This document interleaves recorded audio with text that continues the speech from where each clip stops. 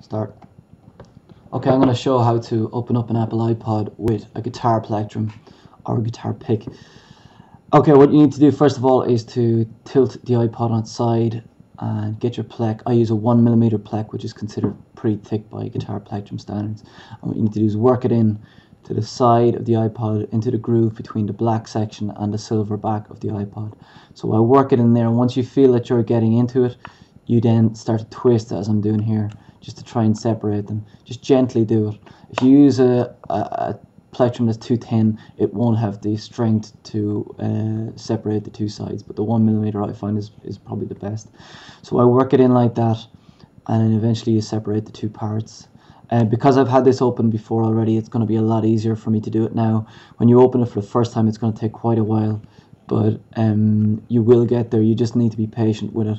As you can see here, opening it for a second time is very, very easy with the plectrum, and you end up just carefully separating the two parts of the iPod. And that is how I open an iPod with a guitar plectrum. Thank you for watching.